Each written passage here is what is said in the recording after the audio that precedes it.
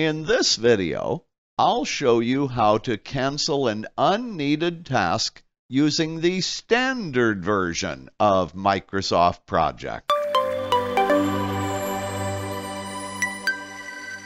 In the standard version of Microsoft Project, you don't have the inactivate button that is found only in the professional version.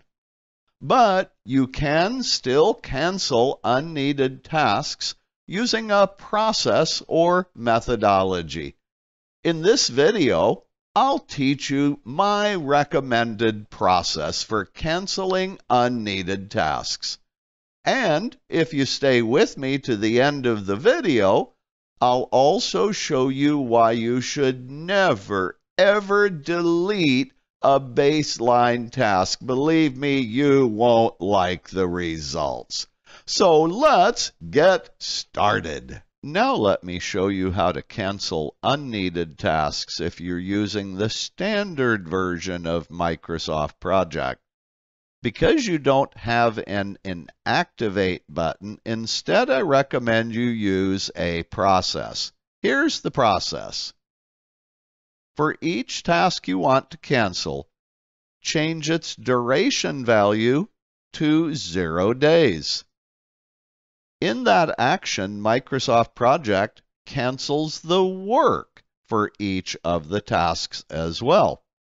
Then select the row headers for your canceled tasks. And in the font section of the task ribbon, click the Font Dialog Launcher button. That's that little tiny arrow in the lower right corner of the font section of the ribbon. In the font dialog, select the Strike Through checkbox, then click the Color Pick list and choose a darker gray color. When you click the OK button, you can clearly see that my canceled tasks look like canceled tasks. There is a problem, however, in the Gantt chart screen. For each of my canceled tasks, Microsoft Project is displaying a milestone symbol. These are not milestones. So what we need to do is change the symbol for Gantt bars associated with canceled tasks. Here's how to do that. Select each of your canceled tasks, then click the Gantt chart format ribbon tab to display that ribbon. In the bar styles section, click the Format Pick List button and choose the bar item on the menu.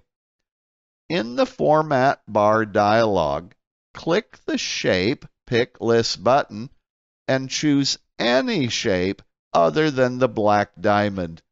I'll use the solid circle for example. Then click the Color Pick List button and choose any color you want to represent canceled tasks. I'll choose green. Next, click the Bar Text tab.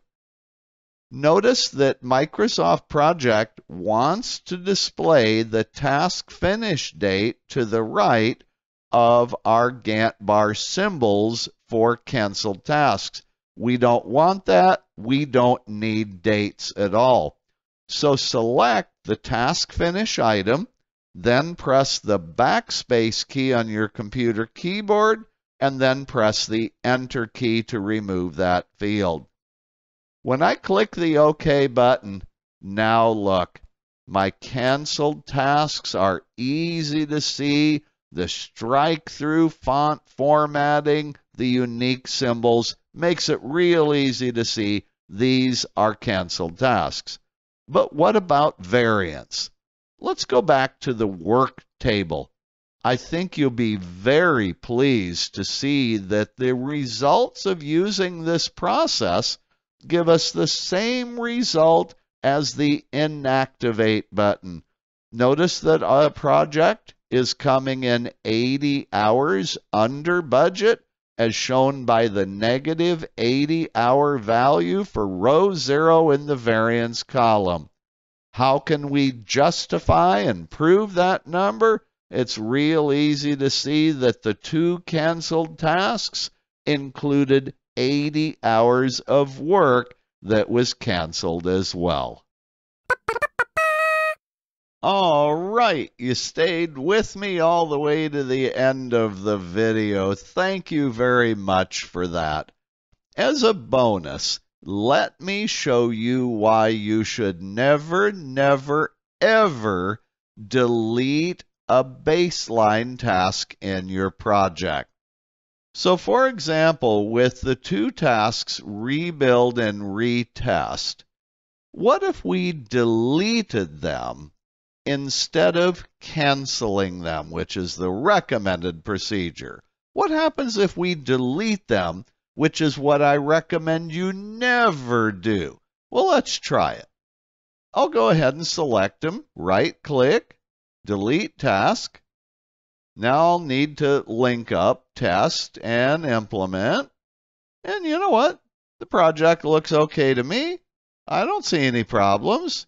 Is there a problem? Yes, there is. If I display the work table again, you're going to see that I have a bit of an explaining nightmare on my hands. Notice that the variance is negative 80 hours for the entire project, except all the numbers below it are zero. How in the world am I going to explain how this project has negative 80 hours of variance? It's going to end up being one of two things, I'll guarantee you. Either I'm going to look like a goofus or I'm going to blame Microsoft Project, say, well, I think it's a bug in the software. But you know, that isn't what's really going on here. This is why I recommend never ever delete baseline tasks. If you have unneeded tasks in your project that are baselined, always use one of the two processes that I demonstrated earlier in this video. You'll be a lot happier in the process. So there you have it. If you like this channel, I hope you'll subscribe. And if you do, be sure and click the notification button so that you're notified whenever I upload a new video. If you do have questions or comments, please add them in the comment section down below. And as always, I'll see you in my next video.